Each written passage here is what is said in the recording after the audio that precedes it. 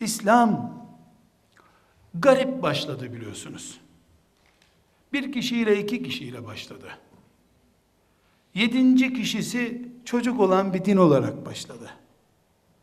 Gariplerin dini sadece 20 yılda zafere ulaştı. Allah lütfetti. Mekke'nin fethiyle beraber gariplik süreci bitti.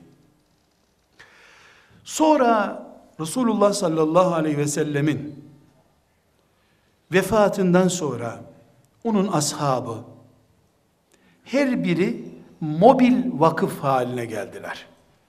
Şimdi biz vakıflar kuruyoruz. Müslümanların çocuklarını bize getirmelerini istiyoruz. Dernekler kuruyoruz.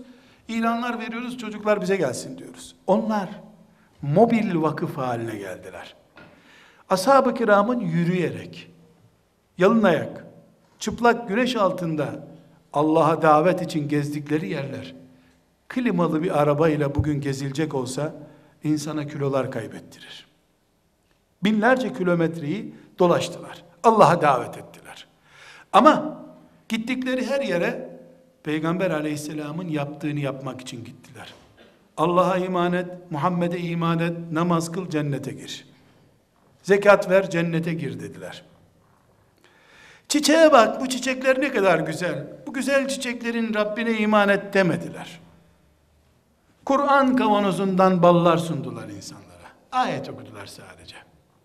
Çünkü onlar da felsefe ve mantık bilmiyorlardı. Kızıl bir cahillikten geldiler. İlk tek ve son Kur'an'ı öğrendiler.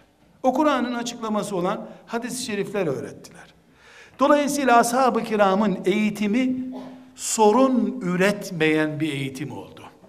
Yan tesiri olmayan ilaç gibi geldi insanlara bu.